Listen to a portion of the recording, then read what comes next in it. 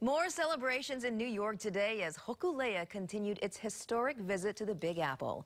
Kathy Muneno is there for the canoe races.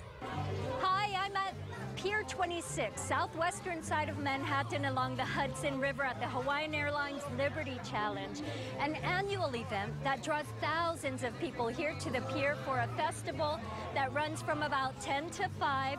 There's music, entertainment all day, food. In fact, Pig and the Lady from Honolulu is here as well.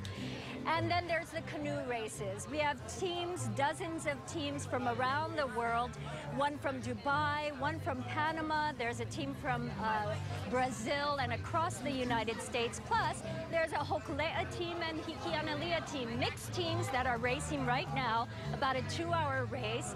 In that race, you'll see Bruce Blankenfeld and his family, uh, Nainoa Thompson, not his family, thank you very much, uh, General Darryll Wong, and several others. Hokulea is docked here, welcoming the public to come on board, get a tour.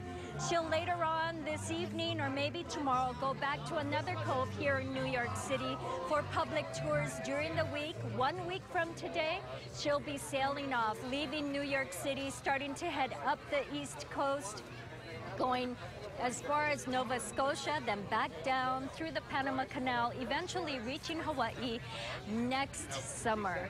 And we'll see how the Hokulea and Hikianalia teams do. I'll let you know about that uh, by Facebook. You can look me up on Facebook and check that out.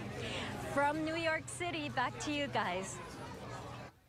And Kathy Muneno has been in New York to cover Hokulea's events. We will have updates on air and online.